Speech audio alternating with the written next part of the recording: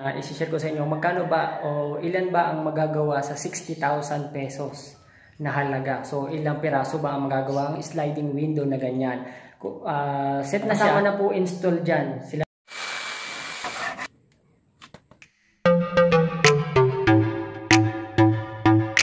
Yes guys, welcome back to my channel at andito tayo ngayon sa pinapagawa ni utol ko na bahay. So, dati na itong gawa. So, hindi pa lang na didiretso. Ayan, nalagyan natin niya ng skin coat to. Kita niyo naman puting-puti, di ba? So, bali, andito ako ngayon at may pinapagawa si mother na mga patungan daw ng kandila dahil gagamitin niya daw. Ngayon ay marami ditong ritaso na mga putol-putol. Yung pinagputulan ng cabinet, yung mga 3 3-port na size na plywood. So, kukuha ko ng ilang piraso para gawin. Ito, pasukin natin yung kanyang CR. Dito muna itinambak habang hindi pa na gagawa. Ito yung pinaka-CR niya. Luwang din ang CR niya. So, yan. So, ito, no, ito nakakuha na ako itong isang to. Ito yung gagawin nating patungan. So, maghanap na lang ako ng stand niya. Kung meron dito. At since nandito na rin daang ako, ay yung bintana niya ay kagagawa lang or ginagawa pa. Hindi pa tapos gawin. Pero, ayan, at na-install na. So, hindi pa lang ulit bumabalik yung gumagawa. So, ito bali yan yung bintana. Isishare ko sa inyo magkano ba o ilan ba ang magagawa sa 60,000 pesos na halaga. So, ilang piraso ba ang magagawa ang sliding window na ganyan. Uh, set na siya. Yan. Meron din siyang screen at uh, reflective siya, hindi siya kita doon sa labas. Pag nasa labas ka, hindi siya kita. Mamaya pakita ko sa inyo. At ngayon, andito tayo sa labas. Ayan, tingnan natin. Yan yung taas niya. At saka baba, kita nyo naman, reflective siya. Hindi kita ang loob. So, lapitan natin ng konti para make sure na kahit itutok natin itong camera, ayan, o, sa loob hindi kita. Yung labas makikita mo, ayan, nasa, nanalamin tayo. At ito naman ang itsura pag nasa loob ka. Yan, kitang-kita mo yung mga nasa labas tulad niyan. Kita mo yung bahay sa katabi. So, ito po ang reflective ganito. So, unahin natin yung taas. Akit tayo. Akit tayo sa taas. So, ayan yung taas niya. Wala pa nga lang grills. Ayan. Ito pinaka balkonahe niya sa likod. Itong kinakabit pa to, kakabit pa siya. Dito sa CR yan, pang CR na itong klase niya, klase ng aluminum. Oh. Kanto lang ang size niya, bali half by ah 1, 1 by 2. Ang size ng pang CR, ito yung sa ilalagay sa CR na bintana So, sliding siya din. Kasi mahaba ang kanya, pahaba ang kanyang ano ng kanyang bintana. Pahalang. So ayan, makikita niyo, reflective siya. Oh, di ba? So yun yung labas, reflective. Tingnan natin ang sarili ko. Sabi ko tinignan pa. So ayan. At ito na, umpisa na natin. Bali ito ay bintana sa CR. At ito yung una. Bali 60 by 40 ang size nito. At pasensya na po sa mga nagtitila o kang manok, napakaingay. Pangalawa naman, ito din sa CR. Bali, dalawa ang CR niya dito sa second floor, isa sa kwarto at isa sa gilid. So, ang size po nito ay ganun din, same din, 60 by 40.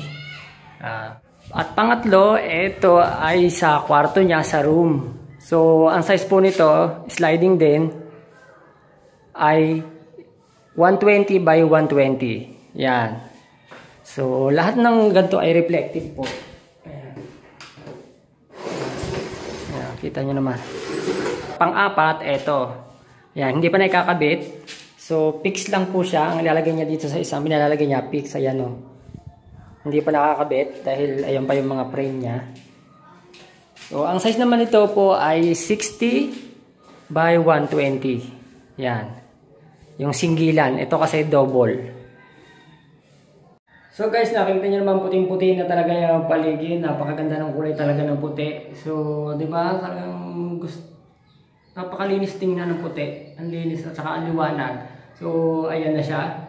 Yan yung pangatlo, yung 120 by 120 at yung pang-apat na 60 by ah, 120 ang size. So, punta tayo dito sa kabila. At dito naman sa master's bedroom, same din. Ah, magkatabi din yung kanyang bintana. Siguro dito ang ulo niya. Yan, oh, maganda. Bali ito, ang size nito ay pang lima.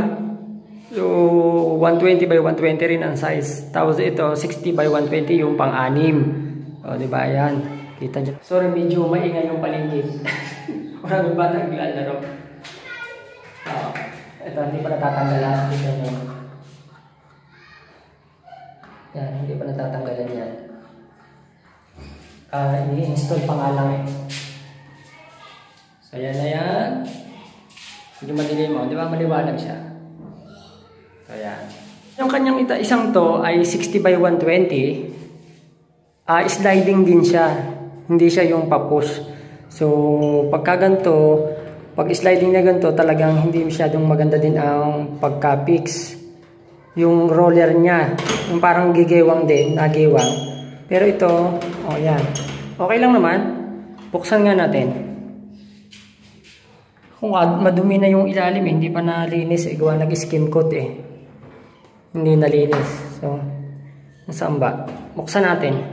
Ang problema dito pagka yung maliit po, sliding window pero maliit.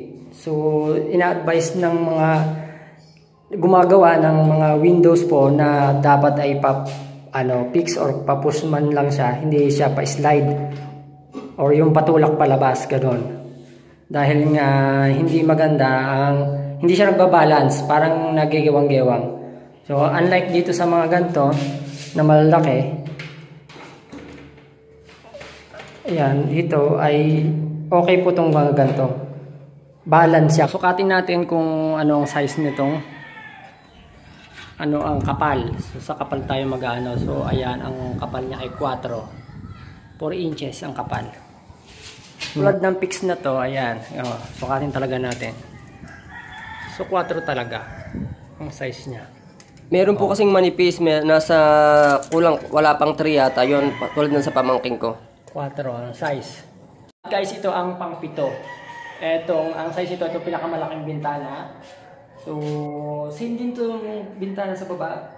Meron pa rin isang pinakamalaking ganito na ang size nito po ay 150 ang haba at ang lapad naman ay 160. So, ang ginawa niya, yung taas ang may opening. Tapos ito, fix yung ilalim. Ang sukat po ng fix niya dito, ayan, yung, di ba, hinatin yan. Di na yan, ito yung fix ilalim. Ito ay 50 cm po, ang pinag-usapan natin, 50 cm. At yun naman po, ang taas na yun ay 100 cm, kaya 150 cm yan. And guys, tapos na tayo dito sa taas. Bali, pitong piraso ang ating Ah, dito sa taas, pitong piraso, sabi niya nun. At iba-iba siyang size. Siya, may malaki, may maliit, si Bati. So, yan. Ah, tandaan nyo, pito. So, balik na tayo sa baba. Tingnan natin kung ilan ba. Ah, at ito yung kanyang pangwalo na bintana dito sa CR niya. Yan, yung kanyang CR. Malaki ang CR niya. Nandito. So, ang size po nito ay 60 by 60. Sliding din po siya. Ayan. Sa kitchen niya, yan, medyo malabo. Ayan. Bali, ito pang siyam, ang size po nito ay 100. Ang haba niya isang metro. Tapos ang taas po ay 50. Doon naman sa kabila, sa pang sampo, ang size doon ay 50 taas. Yan. Ang lapad naman po ay 80 cm po. Centimeter. Dito na tayo sa kanyang sala. Sa mismong dalpakan niya sa may hagdan. So, ito ang kanyang pinakamalaki pa sa baba na sumunod itong sukat na to, yung, di ba yung pinakamalaki, ah, 160 by 150, tapos ito naman po ay, ang size nito ay 120 by 160. So, 120 yung taas, yung lapad ay 160, La- sliding window din po siya.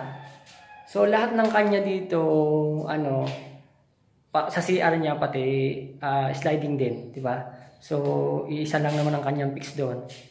So, dito sa may hagdan niya, ayan ang kanyang palabig isa. 11, bang 11. At dito naman, dito naman po sa kanyang, ayun, yung kanyang, sa, dito sa sala niya, so tabi-tabi ang kanyang bintana, napakaliwanag, kaganda. So, di ba, maganda yung ganyan, maliwanag maliwanag. Ang lalaki ng bintana niya ito. Ito po ay pang 12, pang 13, at pang 14. So, labing apat po ang kanyang bintana. Ang size po nito ay 120 by 120. Yung lahat ng to. 1, 2, 3. At recap natin, bali ang kanyang maliliit ay bali 5. So, sa kitchen dalawa, tatlo sa CR. So, lima lahat. So, di ba? So, yan. At ang kanya namang 60 by 120 ay dalawa. So, at ang kanyang 120 by 120 ay lima, uh, dalawa sa kwarto, at saka sa sala ay tatlo. So, ayan. At yung kanya namang 60 by, uh, 160 by 120 ay isa. At yung kanya namang uh, 160 by 150 ay isa. So, ayan. At ang total po ay 14 na nagkakahalaga po yung lahat na yan ng 60,000 pesos. So, ayan. Kasama na po install dyan. Sila na din na nag-install. Uh, dineliver na din nila. So, ayan po. Uh, I hope na meron naman po kayo nakuha ang info. So, that's all for now po. And thank you po for watching. Maraming maraming salamat po sa inyong walang sawang pagsuporta. Guys, na nakakatuwa naman si Mother. Alam niyo, daladala tong mga rita-rita at nagpapagawa ng patungan daw ng kandila. So, yun ang gagawin natin dito. Kaya wala akong no choice. Wala tayong no choice kundi gawin tong kanyang pinapagawa.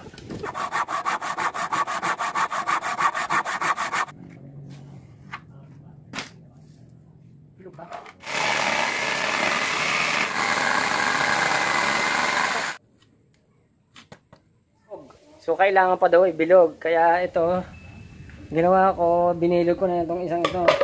Ito. Ayan ang ating ginawa. So, hindi naman ito matutumba. Okay naman yan. At babalutan na lang daw to.